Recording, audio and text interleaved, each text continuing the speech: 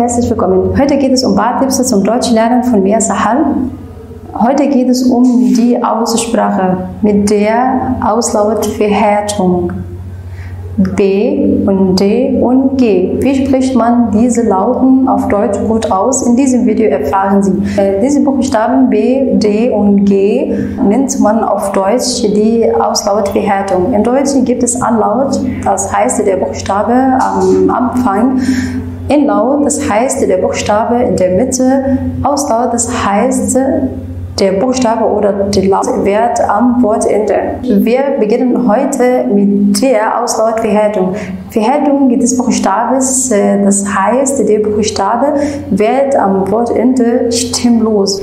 Der wird T, G wird K, B wird P ausgesprochen. Wir beginnen zuerst mit B. B wird als P ausgesprochen. Zum Beispiel gelb, gelb.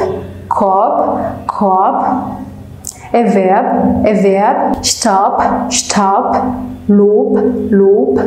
Sie machten einen Urlaub, Urlaub.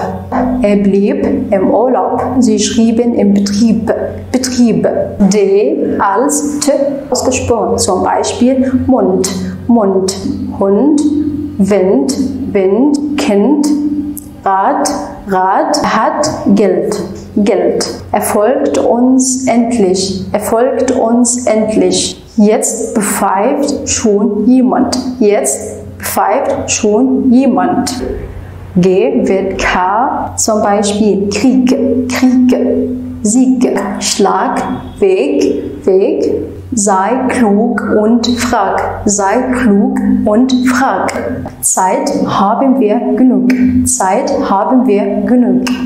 Sonntag ist Ihr Geburtstag. Sonntag ist dein Geburtstag. Ich hoffe, es hilft euch weiter, liebe Studenten und Studentinnen, und einen wunderschönen Tag noch. Bis bald.